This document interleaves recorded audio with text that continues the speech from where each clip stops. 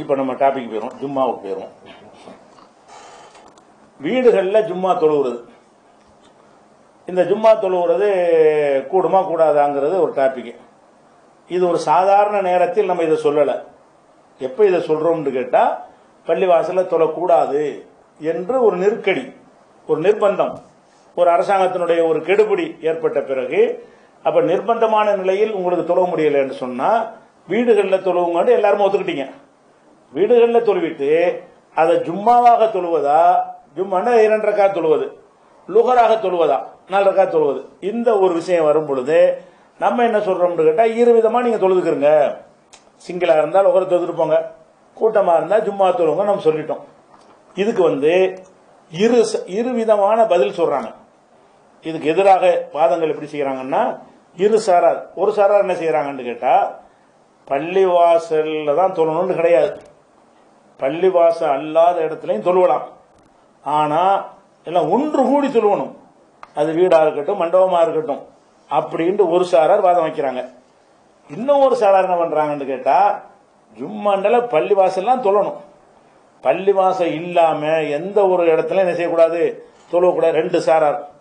ரெண்டு சாரார் என்ன என்னென்ன வாதம் வைக்கிறாங்கன்னு பாத்துருவோம் ஒரு சாரார் என்ன செய்யறாங்கன்னு கேட்டா அதாவது பள்ளிவாசல தொழணும் நாங்க சொல்லவே இல்லை. பள்ளிவாசல்லையும் தொழுவுங்க. வேற இடத்துல தொழுதுங்கன்னா எல்லாரையும் கூட்டி தொழுவணும். வீட்டில் உள்ள மெம்பர் மட்டும் தொழுவது பேர் சும்மா கிடையாது. அப்படின்னு ஒரு வாதம் ஒரு சாரார் இன்னொரு சாரார் என்ன பண்றாங்கன்னு கேட்டா சொல்லவே கூடாது. ஜும்மாண்டால பள்ளி தான் எந்த ஒரு ரீசனை வைத்துக்கொண்டு என்ன செய்யக்கூடாது? பள்ளிக்கு வெளியில தொழக்கூடாது இப்படி ரெண்டு வாதம் வைக்கிறாங்க. ரெண்டு வாதம் வைக்கிறவங்க என்னென்ன ஆதாரங்களை காட்டுறாங்க? அதை பார்க்கணும். அதுக்கு முன்னாடி ஒரு பேசிக்கான விஷயத்தை நீங்க மனசுல வச்சுக்கணும். இப்போ நம்ம வாழ்கிற இந்த காலத்தில் எந்த ஊருக்கு போனாலும் பள்ளிவாசம் இருக்கும். எந்த ஊருக்கு போனாலும் முஸ்லீம் இருந்தால் அவன் ஒரு பள்ளிவாசலோட தான் இருப்பான். இப்படிப்பட்ட ஒரு காலத்தில் இருந்து கொண்டு மார்க்கத்தை நீங்கள் சிந்திக்கக்கூடாது எப்படி சிந்திக்கணும்? நபிகள் நாயகம் செல்லாசலம் காலத்துக்கு போயிருங்க. அந்த காலத்தில் அவங்க முஸ்லீம் மறைஞ்சு மறைஞ்சு இஸ்லாத்தில் இருந்தாங்க. பல ஊர்லேருந்து வந்து சந்திச்சு சந்திச்சு போய் இஸ்லாத்தை ஏற்றுக்குருவாங்க ஏற்றுக்கிட்டு போய் பத்து பேர் இஸ்லாத்தை தழுவிட்டு போவாங்க.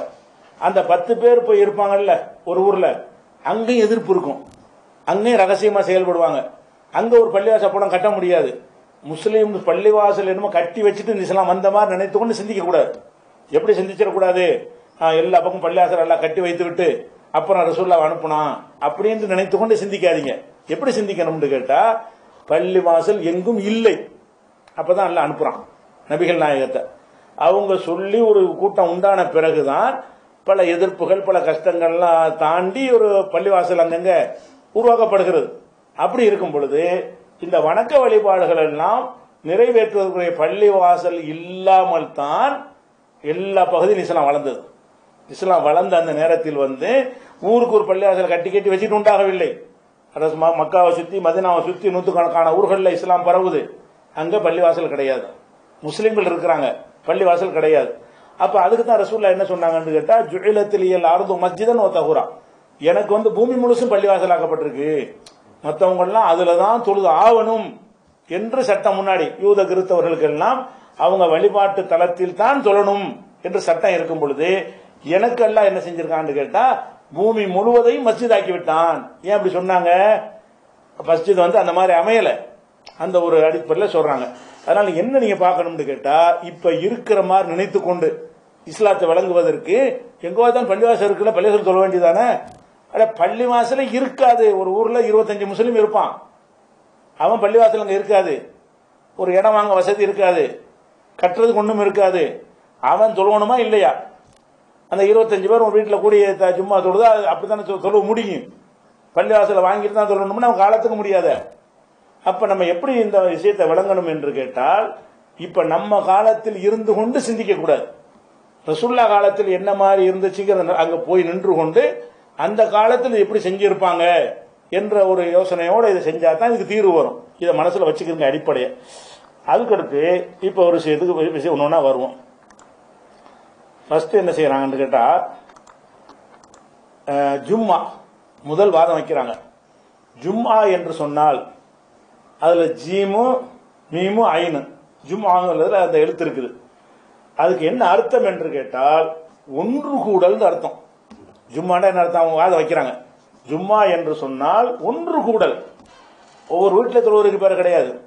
எல்லாருமா சேர்ந்து ஒன்று கூடணும். அது ஜும்மாவுடைய கண்டிஷன் கண்டிஷனை எப்படி எடுக்கிறாங்க அந்த எழுத்துலேருந்து எடுக்கிறாங்க. ரசூல்லா கண்டிஷன் போட்டாங்கன்னு சொல்லலை.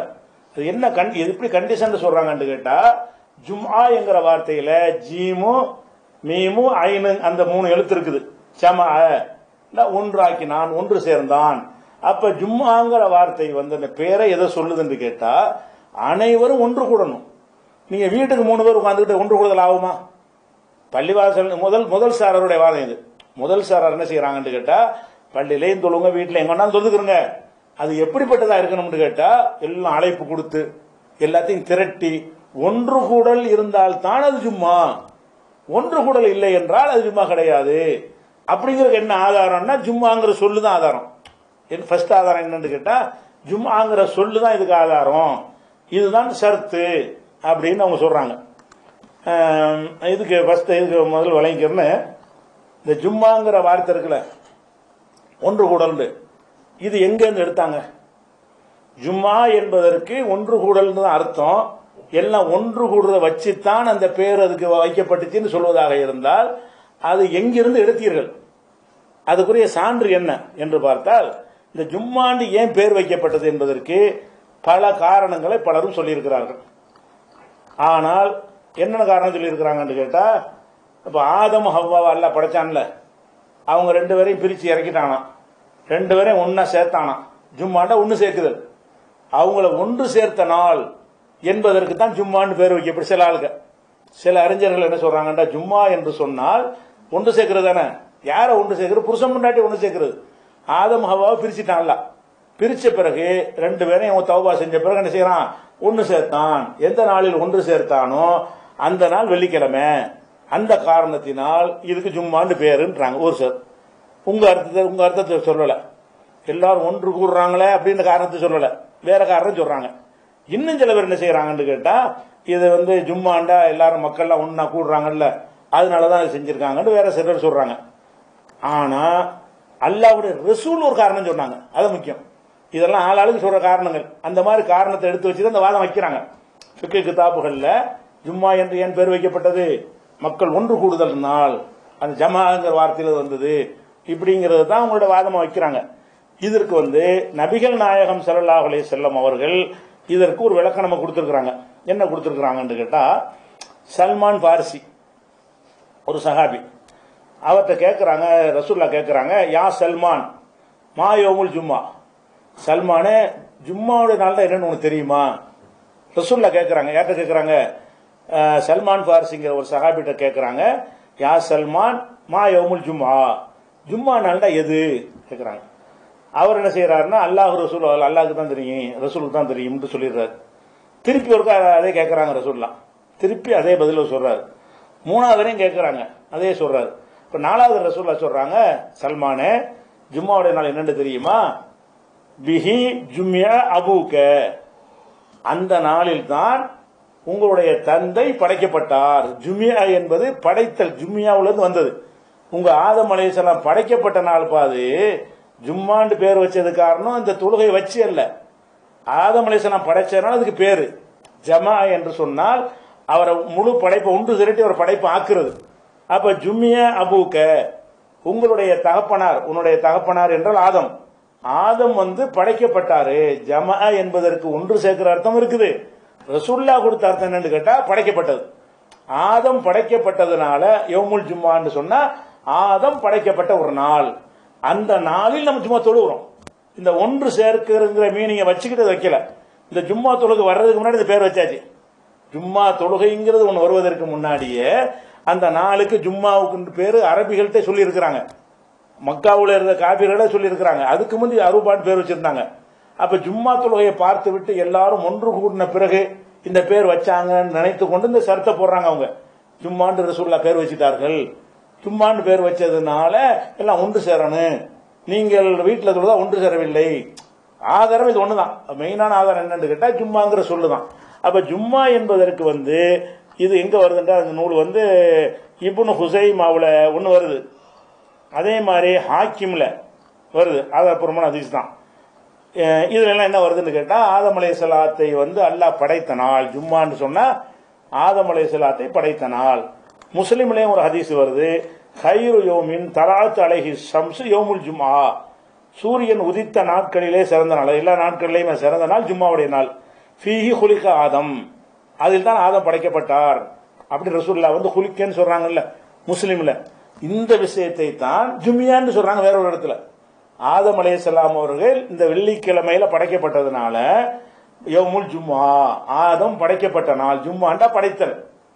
நீங்க சொல்ற அந்த அர்த்தத்தில் தேர் வைக்கப்படல. இன்னும் சொல்ல போனா இந்த வெள்ளிக்கிழமையில தொழுகைக்கு அழைக்கப்பட்டால் எல்லாரும் வாங்கன்னு எல்லாம் கூப்பிடுறான்ல தொழுகையில. குரான்ல இதா நூதியல் இஸ்ஸலாத்தி மின் யோமில் ஜும்மா. ஜும்மா நாளில் தொழுகைக்கு அழைக்கப்பட்டால்னா ஜும்மா நாள் என்று அந்த மக்களுக்கு அறிமுகமாக இருந்ததுன்னு சொல்ல முடியும். அதுக்கு வந்து அந்த பேர் தெரிஞ்சா தான் ஜும்மா நாள் அழைக்க முடியும். அந்த ஜும்மா தொழுகை என்பதை உண்டாக்கி வைத்து அதன் காரணமாக அதுக்கு அந்த பேரை மார்க்கம் சூட்டி இருக்குமேயானால் இப்படி எல்லாம் சொல்ல மாட்டான். அதுக்கு முந்தைய அவங்களுக்கு தெரிஞ்சிருக்கு. ஜும்மாவுடைய நாள் என்பது ஆதம் படைக்கப்பட்டதுனால ஜும்மாவுடைய நாள் ஜும்மாவுடைய நாள் ஜும்மாவுடைய நாள் நெஞ்சிருக்குது அது இருந்திருக்குது என்று விளங்குறோம். அப்ப இந்த நாளுக்கு பலவிதமான காரணங்கள். இது என்ன இதுல நவவிலாம் சொல்றாரு. எப்படி சொல்றாருன்னா மக்கள்லாம் அன்னைக்கு ஒன்று கூடுவதனால இதுக்கு ஜும்மான்னு பேருங்கிறாரு. அது அவருடைய கருத்து அது. அல்லாவுடைய ரசூல் கருத்து நம்ம போயிட வேண்டியதான் சில அறிஞர்கள் இது மாதிரி சொல்லியிருக்கிறாங்க. அறிஞர்கள் சொன்னது மட்டும் இருந்து ஹதீஸ் இல்லாட்டி அதை ஏத்துக்கலாம் அறிஞர்கள் சொன்னதுக்கு மாத்தமாக இதை என்ன செய்யறாங்க? அல்லாவுடைய ரசூல் சொல்றாங்க. அப்ப ஜும்ஆ என்பது வைத்தான் நீங்க வாதம் பண்றீங்க. ஒன்று சேர்றாங்கண்டு. அந்த மீனிங்கே இல்லைன்னு வாதம் அடிபட்டு போயிருந்த ஜும்மான்னு சொன்னா ஆதம் அலைஹிஸ்ஸலாத்தை படைச்ச நாள். இல்லை ஒன்று கூடல்ங்கிறது ஷர்த் எங்கன்னு கேக்குறீங்க. இந்த பேர் ஷர்த் ஏலேருந்து கண்டுபிடிச்சிங்க. ஜும்மாங்கிற சொல்ல வச்சு கண்டுபிடிச்சிங்க. அந்த சொல்லுக்கு அந்த அர்த்தம் இல்லை. அல்லாவுடைய ரசூல் இந்த பேர் வச்சது அதுக்கு இல்லைன்ட்டாங்க. ஜும்மான் பேர் வச்சு எதுக்குன்னா ஆதமர் படைச்சதுனால தான் அப்ப யவுமுல் ஜும்மா என்று சொன்னால் ஆதம் படைக்கப்பட்ட நாள். அது படைக்கப்பட்ட நாளை தான் சொல்லுகிறதே தவிர நீங்கள் எல்லாம் எல்லாம் ஒன்று கூடுற காரணத்தினால் இதையெல்லாம் பார்த்துவிட்டு அதுக்கு பிந்தி இந்த பேர் வச்சாங்கன்னு நினைச்சுக்கிட்டு நீங்க சொல்றீங்க. அப்படி நடக்கவில்லை அப்படின்னா இந்த ஒட்டுமொத்த வாதம் அடிச்சு போயிருதா இல்லையா? இதை வச்சு தான் நீங்க வாதம் பண்றீங்க. அப்ப ஜும்மான்னு சொன்னா ஒன்று கூடல்ங்கிற வாசகத்தை சொல்வது தவறு. அது ஒன்று முடிஞ்சிருச்சு. அதுக்கப்புறம் வந்து இன்னொன்னையும் கவனிக்கணும். இப்ப ஜும்மா ஜீமு மீமு ஐன்னு இருக்குல்ல? இது வச்சு தான் வாதம் பண்றாங்க இது அந்த அர்த்தம் இல்லைன்னு ஆயிடுச்சு. அந்த அர்த்தமும் இருக்குது அகராதியில மார்க்கத்தில் அதுக்கு வச்சது கிடையாது. ஜம்மா ஒன்று சேர்த்தலுங்கிற அர்த்தம் இருக்குதானா இருக்குது. ஆனா இந்த இந்த இந்த பேர் வச்சது அந்த அர்த்தத்தில் இல்லை. எந்த அர்த்தத்தில்? ஆதம் படைக்கப்பட்டார். ஒன்று சேர்க்கிறேன்னா மண்ணு களிமண் உயிர் ரத்தம் சதை எல்லாம் சேர்த்து ஒன்று சேர்த்து படைக்கப்பட்டார் இல்லையா? அந்த ஒரு அர்த்தத்தில் தான் ஜும்மான்னு பேர் வச்சதாக அல்லாவுடைய ரசூல் சொன்னதாக ஹாக்கிமில் இப்னு ஹுசைமாவில் இன்னும் பல நூல்களில் இருக்கிறது அப்போ இந்த ஜும்மாங்கிற சொல்ல வச்சுக்கிட்டு ஒன்று கூடல் எங்கேன்னு கேட்குறீங்க அந்த அந்த அர்த்தமே அடிபட்டு போச்சுன்னு சொன்னால் உங்கள் வாதம் அடிபட்டு இந்த சொல்லுதானே உங்களுக்கு ஆதாரம். அடிபட்டு போயிடுது. அடுத்து என்னன்னு கேட்டால் இப்போ ஜமாத் தொழுகை நடத்துகிறோம்ல ஜமாத்து தொழுகை. அதுலயும் இதே மூணு சொல்லு தான் இருக்குது ஜமாத்தில் ஜீம் இருக்குது மீம் இருக்குது ஐன் இருக்குது ஜமாத்து. இதுதான் ஒன்று கூடலுக்கு அர்த்தம் தரக்கூடியது. அப்ப ஜமாத்து தொழுகை வீட்டில் தொழக்கூடாது நீங்க சொல்லணும் உங்க வாதப்படி. இதுக்கு சொல்லவே கூடாது ஏன்னா இந்த அர்த்தத்தில் இல்லை. ஜும்மா என்பது இந்த அர்த்தத்தில் இல்லைன்னு ரசூல்லா விளக்கிட்டாங்க. ரசூல்லா விளக்கின பிறகு நீ அகராதி பொருட்கள் இருக்கக்கூடாது ரசூல்லாவோட விளக்கத்தோட நிறுத்திக்கிறணும். ஆனா ஜமாத்து தொழுகை எதனால வந்துச்சு? ஜமாத்தை நம்மளை வழங்கி வச்சிருக்கிறோமே ஜமாத்தாருங்க அந்த ஜமாத் இந்த ஜமாத்து. ஜமாத்துனா ஒன்று சேருதல். அப்ப ஜமாத்து தொழுகைக்கு என்ன அர்த்தம்னா ஒன்று கூடல் அர்த்தம். ஒன்று கூடுவது சருத்து அதனால வீட்டுக்குள்ள ஜமாத்தா தொழக்கூடாது. எல்லாரையும் கூட்டி தான் ஜமாத்தா தொழணும் சொல்லுங்க. அது தொழுகலாமா இவங்க வாதப்படி ஒன்று கூடலுங்கிற அர்த்தம் எதுல வரும்னு கேட்டா ஜமாத்து தொழுகையில தான் வரும். ஏன்னா ஜமாத்து தொழுகையில தான் அது ஜீமு மீமு ஐன் இருக்கிறது ஜமாத்துனா ஜீம் இருக்குது மீம் இருக்கு அப்புறம் அலிஃப் இருக்கு அப்புறம் ஐன் இருக்கு ஜமாத். அது ஜமாவுல வந்ததுதான். இவங்க எந்த வார்த்தையை வைத்துக்கொண்டு வாதம் பண்றாங்களோ அந்த வாதத்தை ஜமாத்து தொழுகைக்கு பண்ணணும்ல. ஜமாத்துறைக்கு தான் பண்ணணும். ஏன்னா அந்த ஜும்மாவுக்கு அந்த அர்த்தம் இல்லைன்னு ஆயிடுச்சு. ஜும்மாவுக்கு வந்து அந்த அர்த்தம் இல்லைன்ற ஜமாத்துக்கு என்ன அர்த்தம்னா அந்த ஒரு அர்த்தம் தான். எதனால ஜமாத்துலகைன்னு பேரு? எல்லாம் ஒன்று கூடுறதுனால ஜமாத் தொழுகைன்னு பேரு. அப்ப எல்லாரும் ஒன்று கூடு தொழுவும் தொழுவும் பொழுது இப்ப எப்படி வாதம் வைக்கணும் தெரியுமா? ஜமாத்து என்றால் ஒன்று கூடுதல். வீடுகளில் நீங்க ஜமாத் தொழுகை நடத்தக்கூடாது. ஒன்று கூடுதல் இல்லாம போயிடுது. எல்லா வீடுகளுக்கும் அழைப்பு கொடுத்து ஒரு இடத்துல திரட்டி வைத்து கொண்டு அப்படித்தான் லொஹரு லொஹரு துறை ஜமாத்தை நடத்தணும். அசர ஜமாத்தை நடத்தணும். ஏன்னா ஜமாத்துங்கிற வார்த்தைக்கு வந்து ஒன்று கூடல்னு அர்த்தம். அப்படி சொல்லுங்க பார்ப்போம் உங்க வாதப்படி இதுல என்ன சொல்லியிருக்கானே? அதுல சொல்ல முடியாத. ஜும்மாவுக்கு சொல்ல முடியாது. அப்ப ஜமாத்துக்கு என்ன சொல்றீங்க? ஒன்று கூடல் அர்த்தம் இருந்தாலும் ரெண்டு மூணு பேர் கூடுனால் ஜமாத்துங்கிறீங்க. ஒன்று கூடல் அர்த்தம். வீட்டில் உள்ள மூணு பேர் இருந்தாலும் ஒன்று கூடிட்டாங்கல்ல. அப்ப ஜும்மாவுக்கு அது பொருந்தும்ல ஒன்று கூடலுங்கிறது. அப்ப ஜமாத்துங்கிற வார்த்தைக்கு மட்டும் விதிவிலக்கு கொடுத்துட்டு போயிடுறீங்க. இன்னும் சொல்ல போனா புகாரில அறுநூத்தி முப்பதாவது ஹதீஸ்ல என்ன வருதுன்னு கேட்டா இதா அன்துமா ஹரஜித்துமா ரெண்டு பேர் ரசூல்லா பார்க்க வர்றாங்க சரி மாலி பொண்ணு ஹோயிருது ஹோயிருது அறிவிக்கிறாங்க. அப்ப ரசூல்லா வந்து என்ன செய்யறாங்க அறிவிக்கிறாங்க இதா அன்துமா ஹரஜித்துமா நீங்க ரெண்டு பேரும் புறப்பட்டு போனீர்களே ஆனால் வெளியூருக்கு போனால் ஃபஅத்தினா.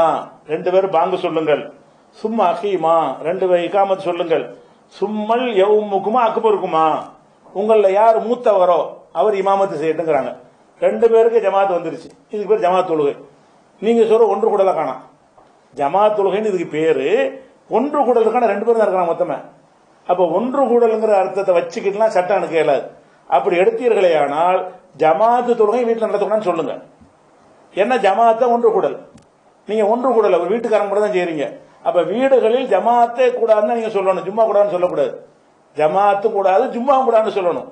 அப்ப இவங்க வாதம் வந்து இந்த ஜும்மாங்கிற சொல்ல வச்சு கொண்டுதான் விளையாடுறாங்களே தவிர ஜும்மாங்கிற சொல்லு இவங்களுக்கு நிக்கல.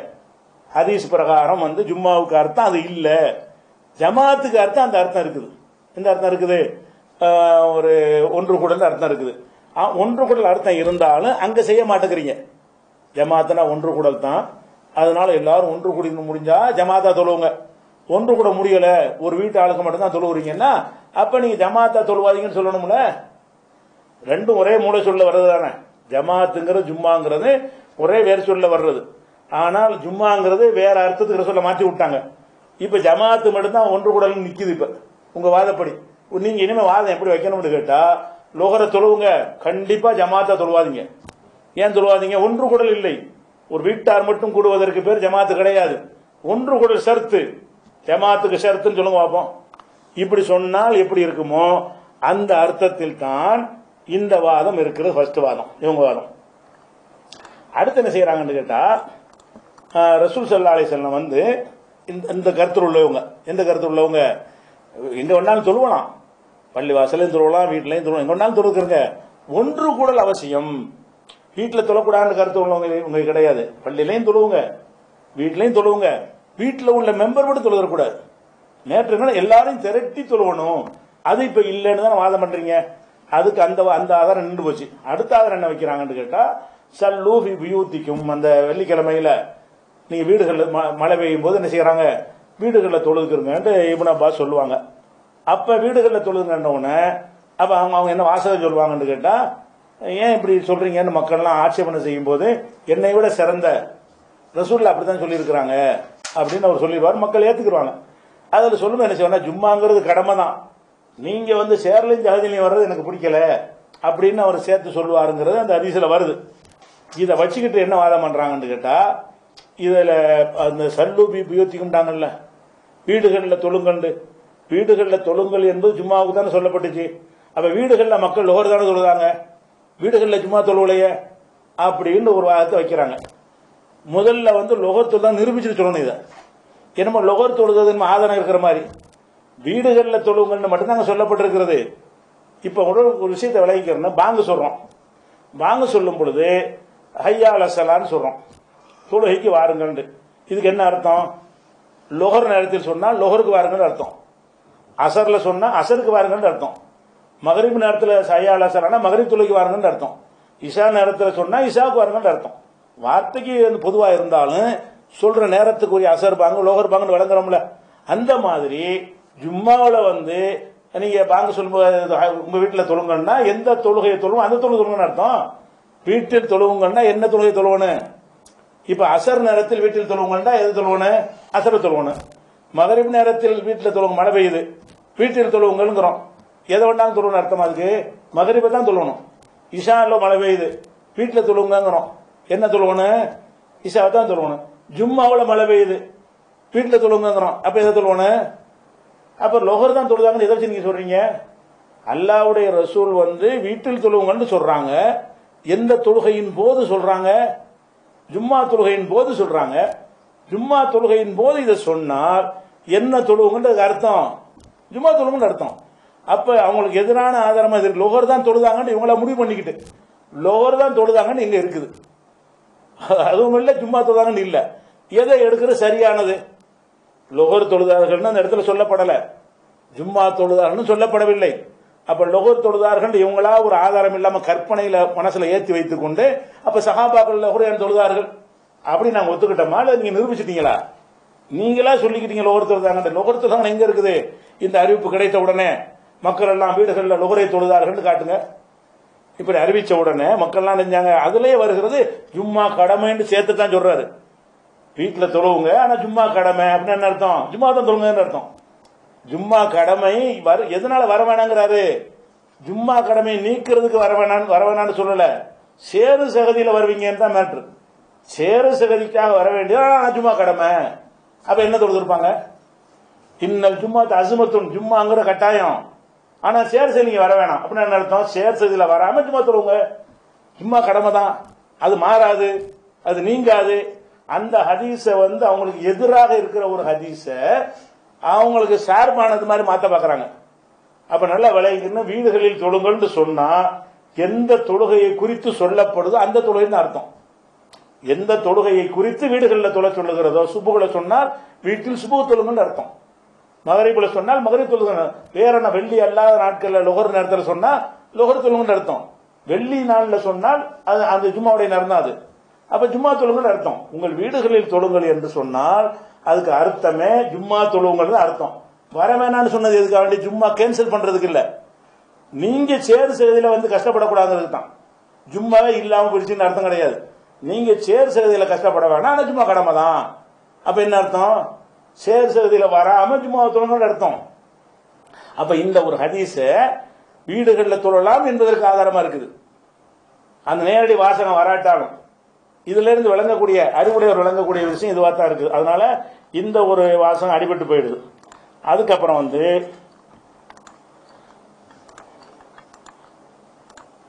நோனையும் பார்க்கணும். அடுத்து என்ன வாக்கிறாங்கன்னா ரசூல் சல்லா அலி செல்லம் அவர்கள் மக்காவில் இருந்தாங்க. ஒவ்வொருத்தரும் வீட்டில் வந்து எல்லாம் ஜமாத்தா தொழுது கொண்டார்கள். ஏன் சும்மாவாக தொழவில்லை? அது இப்படி ஒரு அடுத்து வாங்க வைக்கிறாங்க. அது ரசூல் சல்லா அலி செல்லம் அவர்கள் கஷ்டமான நேரத்தில் சிரமமான நேரத்தில் மக்காவில் இருந்தாங்க இல்லையா? அந்த நேரத்தில் வந்து வீடுகளில் எல்லாரும் ஜமாத்தா தொழுதார்கள். அவர்களும் சும்மா நடத்தவில்லை அப்படின்னு ஒரு கேள்வியை கேட்குறாங்க எப்போ ஜமாத் தொழுதாங்கன்னு உங்களுக்கு இருக்குது? நீங்களா விளைங்கி நீங்களா கற்பனை செஞ்சுக்கிட்ட விஷயமா? வீடுகளில் தொழுதாங்கன்னு இருக்கே தவிர வீடுகளில் எல்லாரும் ஜமாத்தா தொழுதார்கள் இருக்குதா? இல்ல. ஒரே ஒருத்தர் தொழுதாரு. அவுபக்கர் சித்திக்கு தொழுதாரு. வெட்டி விட்டாங்க ஊர் விட்டு வாடன்னு மற்ற ஆளுக்கு தொழுன்னு அர்த்தம். ஹதீஸில் எப்படி வருதுன்னு கேட்டால் அது புகாரியில் ஒரு நீண்ட ஒரு ஹதீஸு. அதில் என்ன வருதுன்னு கேட்டால்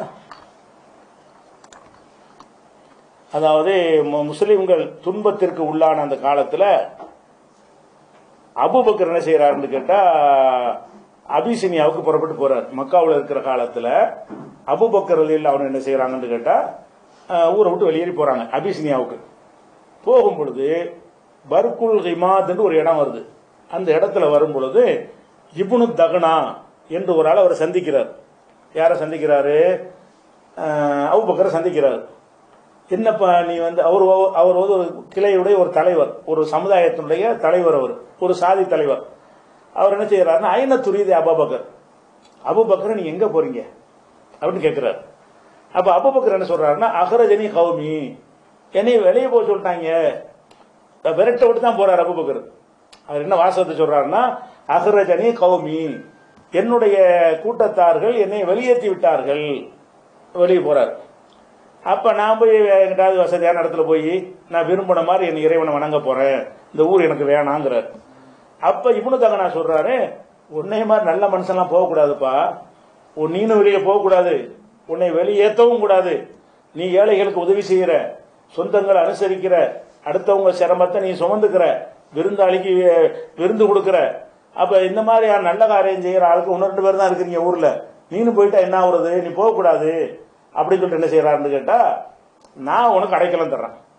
அவங்க மக்காவில் ஒரு இது வச்சிருக்கிறாங்க ஒரு கொள்கை. என்ன கொள்கைன்னா யார யாருக்காவது ஒருத்தர் அடைக்கலம் கொடுத்தாங்கன்னு சொன்னா அதை ஏத்துக்கிடுவாங்க வெளியே போய் சொல்லியாச்சு நான் பொறுப்புப்பா அப்படின்னு சொல்லிட்டோம்னு சொன்னா அதை ஏத்துக்கொள்ளக்கூடிய ஒரு பழக்கம் அந்த ஊர்ல இருந்தது. அப்ப என்ன செய்யறாரு அவரு வந்து நான் உனக்கு அடைக்கலம் தர்றேன். வா நீ திரும்பி வா. உன் வீட்ல இருந்து தொழுவு அப்படின்னு சொல்லிட்டு அவரு கூட்டிட்டு வந்து என்ன செய்யறாருன்னா ஒவ்வொரு குறைசி தலைவர்கிட்டயா போறாரு. யாரு? இவனு தகனா. போய் என்ன செய்யறாருன்னா இந்த மாதிரிலாம் இருக்கிறதுனால அவரை விட்டுருங்க. நான் அடைக்கலம் கொடுத்துட்டேன். அவரை நீ வெளியேற்றக்கூடாது அவர் டிஸ்டர்ப் பண்ணக்கூடாது அப்படின்னு சொல்லி ஒவ்வொரு குறைசி தலைவர்கள்ட்டையும் இந்த இபுனு தகனா பேசுறாரு. அப்ப அந்த குறைசி தலைவர்லாம் என்ன சொல்றாங்கன்னு கேட்டா முர் அபா பக்ரின். அபு அபுபக்கர் சொல்லுங்க. எப்படி சொல்லுங்கன்னு கேட்டா ஃபல் யாபுத் ரப்பஹு பி அவர் வீட்டுக்குள்ள அல்லாஹ் வணங்கிடணும். பள்ளி சொல்லி தொழுது கொள்ளட்டும். ஒல்லி எக்கரோ மாசா அவர் விரும்பலாம் ஓதி கொள்ளட்டும் வலா யூதினா பிதாலிக்க அதை கொண்டு எங்களுக்கு டிஸ்டர்ப் பண்ணக்கூடாது. எங்களுக்கு சதம் கேட்கக்கூடாது. ஒலா எஸ்தாலின் பிகி அதை பகிரங்கப்படுத்தாம செஞ்சு கொள்ளட்டும். அவர் ஓதுவதனால எங்க பெண் எங்க பெண்கள் குழந்தைகள்லாம் குழம்பிடுவாங்க நாங்க பயப்படுறோம். அப்படின்னு கண்டிஷன் போடுறாங்க. அல்ல இவர் அவர் அபுபக்கர் வெளியேற்றுற காரணம் வந்து அவர் இப்படி நடக்கலை ஏற்கனவே. அவர் பாட்டுக்கு சத்தம் போட்டு ஓதுறது. கூட்டமாக தொழுவுறது. அப்போ எல்லாம் ஒரு நாள் ஊரை திரும்பி வந்து பார்க்கும். இவர் ஒரு ஆள் தான் அந்த மாதிரி செஞ்சுக்கிட்டு இருந்தார். மக்கள் அப்படி செய்யலை. அதனால இவரை வெளியேற்றுறாங்க. இவர் மாதிரி அந்தஸ்தான ஆட்களை வெளியேற்றுறாங்க. அப்ப அவங்க என்ன கண்டிஷன் போடுறாங்கன்னு கேட்டா அபுபக்கர் வர்றது எங்களுக்கு பிரச்சனை இல்ல. அவர் வீட்டுக்குள்ள தொழுதா நாங்க தடுக்க மாட்டோம். ஓதிட்டு போறாரு தொழுதுட்டு போறாரு. ஆனா ரகசியமா தான் செய்யணும். சத்தம் போட்டு வெளியில எங்க வீட்டுல உள்ளவங்களுக்கு கேட்டுச்சுன்னா அதை நாங்க ஒத்துக்கிற மாட்டோம். ஜமாத்தனை சத்தம் போட்டுருவாங்க. வெளியே கேட்டக்கூடாதுன்னு சொல்றாங்க. அப்ப இப்னு தப்பு நான் என்ன செய்யறாருன்னு கேட்டா அபுபக்கர்கிட்ட வந்து எல்லாத்தையும் பேசிட்டேன். இந்த மாதிரி நடந்துக்க இனிமே. நீ தொழுவுறதுக்கு இடைஞ்சல அவங்க பண்ணல. நீ எது சத்த சத்தம் போட்டுட்டு பகிரங்கமா நீ செய்யற உனக்குள்ள நீ செஞ்சுட்டு போ. தனியா தொழுன்னு அர்த்தம். ஜமாத்துனா சத்தம் போட்டுருவோம்ல அப்படின்னு அர்த்தம். அதுக்கப்புறம் என்ன செய்யறாருன்னா அவர் வாட்டுக்கு வீட்டில் தொழுதுகிட்டாரு. ஒலா எஸ்தாலின்னு பிஸ்தலாத்தி தொழுகையை வந்து வெளிப்படையா செய்யறது இல்லை பொலல் கிராத்தி. கிராத்தையும் ஓதுறது கிடையாது. வாய்க்குள்ளே ஓதிக்கிறது. அப்படி வாய்க்குள்ள வரனா ஜமாத்து இல்லை தனியான்னு அர்த்தம் இருக்குது. அதுக்கப்புறம் என்ன செய்யறாருன்னா எதுக்கு இவங்களுக்கு பயந்துகிட்டு இருக்கணும்? கொஞ்ச நாள் ஓடுது இப்படி. அதுக்கப்புறம் என்ன செய்யறேன்னா இவங்களுக்கு பயந்துகிட்டு இருக்கணும்னு சொன்ன உடனே அவர் என்ன செய்ய வீட்டிலே என்ன செய்யற ஒரு பகுதியை பள்ளிவாசம் மாதிரி ஏற்பாடு பண்றாரு. அவர் இடத்துக்குள்ளேயே. பண்ணிட்டு என்ன செய்யறாருன்னா அங்க போய் பயங்கரமா தொழுவ ஆரம்பிக்கிறார். எல்லாரும் பாக்குற மாதிரி. சத்தம் போட்டு ஓதுற மாதிரி. அப்ப பெண்கள் பெண்கள் அவங்க முஸ்லிக் ஆளுங்கெல்லாம் வந்து வேடிக்கை பார்க்குற மாதிரியும் ஆச்சரியப்படுற மாதிரியும் இந்த மாதிரி வந்து தொழுவ ஆரம்பிச்சிட்டாரு. அது போக ஓதும் போது அழுவ ஆரம்பிச்சிட்டு அதெல்லாம் பார்க்கும்போது அவங்களுக்கு ஈர்க்கப்பட்டு என்னடா என்னமோ அழகான விஷயங்கள்லாம் ஓதுறாரு அப்படின்னு அவங்க மனசே மாறுகிற அளவுக்கு இருக்கிறது. உடனே இவங்க இவனு தானே கூப்பிட விடுறாங்க நீ என்ன சொல்லி அடைக்கலம் கொடுத்த? அவர் வெளிப்படையாக செய்ய மாட்டார் சொன்னார். இப்போ வெளிப்படையாக செஞ்சு விட்டாரு. அதனால நீ என்ன செஞ்சேன்னு அவரை உன் அடைக்கலத்தை வாபஸ் வாங்கிக்க. உன் அடைக்கலத்தை வச்சு நாங்கள் விட மாட்டோம். அதனால இனிமேல் அந்த அதை- அவரை தடுப்போங்கிறாங்க. விரட்டி விட்றோன்றாங்க. அவர் என்ன செய்கிறாருன்னா அவர் வர்றார். திரும்பி ஒருக்கா வர்றார். வந்து நான் உனக்கு ஒரு அடைக்கலம் கொடுத்தேன். நீ என் சொல்லுக நடக்கலை. நீ பாட்டு வீட்டுக்குள்ளே தொழு ரகசியமாக தொழுது போக வேண்டியதானே நீ எது வெளிப்படைய எல்லாரும் தெரியுற மாதிரி சத்தம் போட்டு ஓதிக்கிட்டு சத்தம் போட்டு சொல்ல ஆரம்பிக்கிற? உன்னுடைய வாப்ப உன்னுடைய அடைக்கலத்தை வாபஸ் வாங்கிக்கிறேன். அப்படின்னு சொன்ன உடனே அபுபக்கர் என்ன செய்யறாருன்னு கேட்டா நான் வாபஸ் வாங்கிக்க. நான் அல்லா ரசூல் வாழ்க்கை நடந்துக்கிருவேன். உங்க அடைக்கலம் எனக்கு வேணாம். அவங்க என்ன செய்யணுமோ செஞ்சுக்கிறட்டும் அப்படின்னு சொல்லி சொன்னோன்னே அவர் முடிவு பண்ணிட்டார். நம்மளை வெட்டி வாங்கினுமே இவர் அடைக்கலத்தெல்லாம் வண்டி ஓடிட்டு இருந்துச்சு இப்போ அடைக்கலம் முடிஞ்சிருச்சு. அப்போ ரசூல் சல்லாசனம் வர்றாங்க. வந்து பொறுமையாயிரி நமக்கு ஹிஜ்ரத் பண்ணி போறதுக்கு அல்லாவுடைய வழிகாட்டத்தில் வந்துருச்சு. உத்தரவு தான் காத்துக்கிட்டு இருக்கிறேன். இன்னைக்கு நாளைக்கு போற மாதிரி இருக்கும். அப்படின்னு சொன்னோன்னா அப்ப ரசூல்லாவோட சேர்ந்து ஹிஜரத் பண்ண போறமேண்டு சகிச்சுக்கிட்டு இருக்கிறாரு. அதுக்கு தான் ஹிஜரத்து நடக்குது.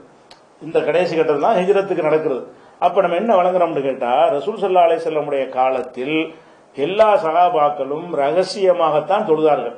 ஜமாத்தாக எல்லாம் சத்தம் போட்டு ஓதிக்கிட்டு ஊரை கேட்கிற மாதிரி நடத்தல. அது ஆபத்தான விஷயம். அதனால ஜும்மாவும் நடத்தல ஜமாத் நடத்தலை. அவங்கவுங்க தொழுது கொண்டார்கள். வீட்டிலேயே வந்துக்கிட்டு வாப்பா தௌஹீ- முஸ்- முஸ்லீமா இருப்பாரு மத்தவங்க முஸ்லீமா இருக்க மாட்டாங்க. எல்லாம் குடும்பம் குடும்பமா இஸ்லாத்தை தழுவிட்டு நினைச்சிட்டு அவங்க பேசிட்டு இருக்கிறாங்க. ஒருத்தர் இருப்பார் இன்னொருத்தர் இருக்க மாட்டார். புருஷன் முஸ்லீமா இருப்பாங்க பொண்டாட்டி முஸ்லீமா இருக்காது. இப்படிப்பட்ட ஒரு சமுதாயம். அதுல வந்து அவங்கவுங்க தொழுது கொண்டார்களே தவிர இவங்க ஒரு ஆள் தான் சத்தம் போட்டு ஜமாத்தை தொழுதாரு. அபுபக்கர் மட்டும் விரட்டினாங்க. அதுக்கப்புறம் அடங்கி இருந்தார்.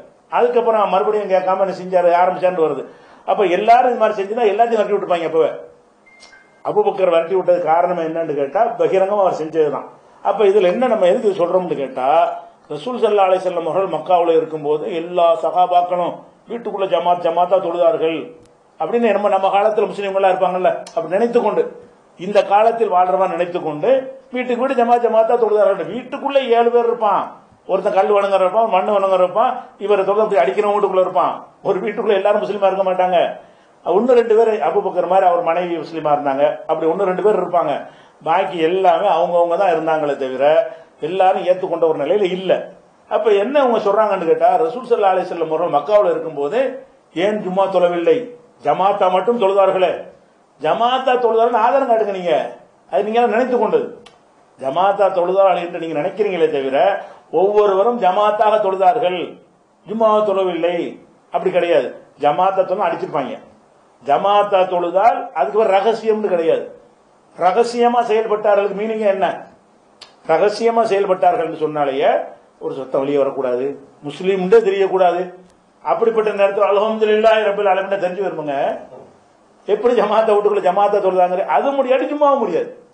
எப்ப ஜமாத்து முடியவில்லையோ ஜும்மான்னு சொன்னா இன்னும் கொஞ்சம் கூடுதல் ஒரு பயானுக்கு ஒன்று பார்த்தணும் ஓதுறதுக்கு ஒரு கத்தனு பயாண்டு ஒன்று கத்துக்கணும். வெளியே போற சத்தம் கேட்டு போயிடும் அப்ப ரசூல் சல்லாசன மக்காவில் இருக்கும் பொழுது ரகசியமாக இருந்தார்கள் என்று சொன்னாலே என்ன அர்த்தம்னு கேட்டா அவரவர்கள் அடுத்தவனு கேட்காத அளவுக்கு அவங்க வணக்கத்தை நிறைவேற்றி கொண்டார்கள் அர்த்தமே தவிர நீங்களாகவே அவங்க எப்படி லொகர் மட்டும் தொழுதா ஜமாத்தா தொழுதார்கள்?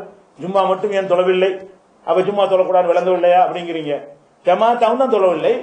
அப்ப ஜமா தொழக்கூடாது சட்டம் சட்டம் சொல்லுங்க இப்ப ரசூல் சல்லாஹ் ஜமாத்தா தொழாத மக்காவில் இருக்கும்போது ஜமாத்தா தொழாத காரணத்தினால் ஜமாத்தும் இனிமே கிடையாது.